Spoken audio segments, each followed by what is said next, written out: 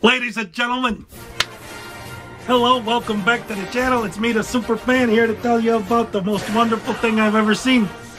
The Chicago Bears, what did they do? What did I tell you they were gonna do? They beat the Detroit Lions in week one of the 2020 football season. It was a beautiful thing. And everything I always say, Kyle Fuller, what did he do? He got a pick.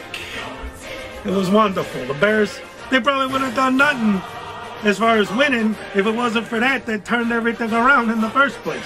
So you know Kyle Fuller's always on the list. Of course, uh, Mr. Trubinsky, he's always doing his thing and doing it right. Taking care of business the old-fashioned way by throwing the ball, sometimes handing it. Whatever the quarterback's got to do, he's even running it like always, getting three, four, five thousand yards running. The guy's a monster. And, uh, you know, the Lions, they kept talking about this uh, Adrian Peterson guy again. I'm so tired of hearing about him every week, every every time we have anything to do with Detroit. And I know they're back and forth to Peterson and blah, blah, blah, whatever. You know the story. But it doesn't matter because the Bears won. They came back in the end. It was such an exciting game. All this time, it was looking like it was going to be the Bears. Then all of a sudden it looked like Detroit was going to be unbeatable. And then what happened at the end? The Bears come back and do the job. So once again, the Bears, the Bears are on top. we can't, we, and it was a division game. We beat the Lions. They're in our division. First game of the season in Detroit. Uh, one of the comments I heard on the, the radio there, I thought was funny. He said, uh, you know, with the things going on right now in the world, that there was no fans there. Uh, so it was dead quiet. But uh, when the Bears were winning, it's going to be dead quiet anyway. Nobody in Detroit be rooting for the Bears. So that was pretty funny. But, you know, that's a whole nother story.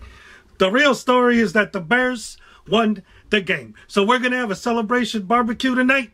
Uh, we're gonna have more pork chops. We're gonna have more brats. We're gonna have uh, even we're gonna, even gonna get out the Italian sausage and uh, the beef.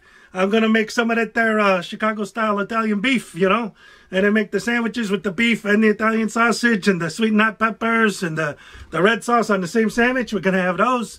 It's going to be great. We're going to have a couple of beers and a couple of hot dogs. So it's going to be good. Uh, other than that, uh, we're getting ready for next week. We're going to win again. It's going to be great. And, uh, hey, bear down, the Bears. Guys, oh my goodness. Oh my gracious me, I almost forgot the most important thing I didn't mention Khalil Mack. Oh, Khalil Mack. That's what we had to do at the end was stop him. And that's exactly what we did. And you know who the defensive guy is. It's always good when he comes around. So, you know, they were blocking him at the beginning. They were trying to stop him. You know, they were sending the whole Lions team after him. And uh, he got through. No problem. No problem. So the Bears won again. Uh, anyway, I just had to throw that in there because I realized I forgot it. Uh, we'll talk next time in a couple days with the preview for the next game. Goodbye. The Bears won the game. The Bears won the game. I don't know how it's going to work with the YouTube thing. If I'm going to be telling you to click here or telling you to click here or maybe a little bit of both. There'll be a picture of uh, some videos over here on one of these two sides for you guys to click on.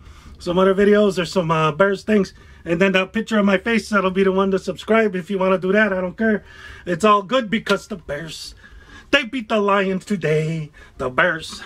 They are the best team. Hooray. The Bears, the Bears, the Bears, the Bears, the Bears. Goodbye.